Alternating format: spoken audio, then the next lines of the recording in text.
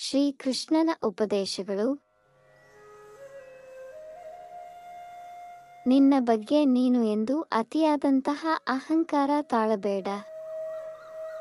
ಭಗವಂತ ನಮ್ಮ ಬದುಕಿನಲ್ಲಿ ಉಸಿರು ಕೊಟ್ಟು ಬದುಕಿಸುವ ಅಮೃತ. ಆಯಸ್ಸು ಮುಗಿದಾಗ ಉಸಿರು ನಿಲ್ಲಿಸಿ ಕರೆಸಿಕೊಳ್ಳುವನು ಅವನೇ. ದುಷ್ಟರಿಂದ ದೂರವಿರು, ಆದರೆ ದ್ವೇಷಿಸಬೇಡ. ನಿಮ್ಮನ್ನು ಕೋಪದ ಕೈಗೆ ಎಂದು ಕೊಡಬೇಡಿ. ಕೋಪ ಬಂದಾಗ ಕೋಪ ಎಳೆಯುವ ತನಕ ಮೌನವನ್ನಾಚರಿಸಿದರೆ ಅದರಿಂದಾಗುವ ಅನಾಹುತ ತಪ್ಪುತ್ತದೆ.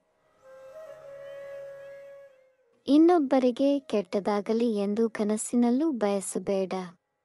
ಮೋಹದ ಬಲೆಯಲ್ಲಿ ಸಿಕ್ಕಿಕೊಂಡವರು, ಕಾಮದ ತೀಟೆಗಳಲ್ಲಿ ಮೈಮರೆತವರು ಕೊಳಕು ನರಕದಲ್ಲಿ ಬಿದ್ದು ನರಳುತ್ತಾರೆ. ಕಾಮಕ್ರೋಧ ಲೋಭ ಎನ್ನುವುದು ನಮ್ಮನ್ನು ಅದಟಪಾತಕ್ಕೆ ತಳ್ಳುವ ಮೂರು ನರಕದ ಬಾಗಿಲುಗಳು. ಅವುಗಳಿಂದ ದೂರವಿರು.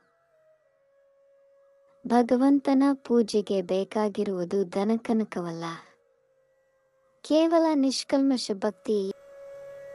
ಯಾರು ಎಲೆಯನ್ನೋ, ಹೂವನ್ನೋ, ನೀರನ್ನೋ ಭಕ್ತಿಯಿಂದ ನನಗೆ ನೀಡುತ್ತಾನೋ, ನನ್ನಲ್ಲೇ ನಂಬಿಕೆ ಇಟ್ಟ ಅವನ ಭಕ್ತಿಯ ಆ ಕೊಡುಗೆಯನ್ನು ನಾನು ನಲ್ಮೆಯಿಂದ ಸ್ವೀಕರಿಸುತ್ತೇನೆ. ಪೂಜೆಯಲ್ಲಿ ನಿನಗೆ ಬೇಡಲು ಇರುವ ಅಧಿಕಾರ ಕೇವಲ ಮೋಕ್ಷ ಮತ್ತು ಭಗವಂತ